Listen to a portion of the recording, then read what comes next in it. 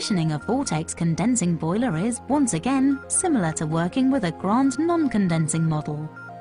In this section, we'll again concentrate on those procedures specific to condensing boilers. Having checked the primary heat exchanger and baffles as normal,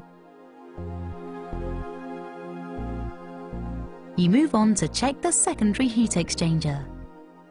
This unit contains a number of spiral baffles or turbulators. Simply check that these are in position and that the ends are vertical. Having now carried out normal checks on the burner nozzle and size, commence operating the boiler and, as usual, check the oil pressure and also for oil or water leaks. Next, using the test point on either the flue system or on the front cleaning door, you should check the smoke number.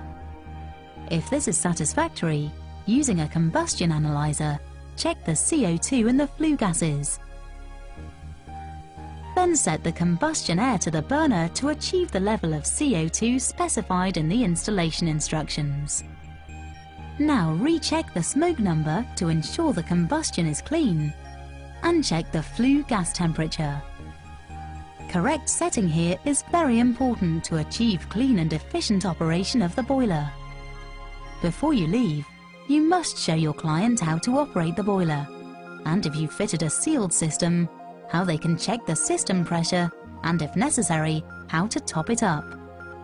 And don't forget to leave with your client a completed OFTEC CD10 installation completion report, a completed OFTEC CD11 form or commissioning report, and of course, the user, installation and servicing instructions.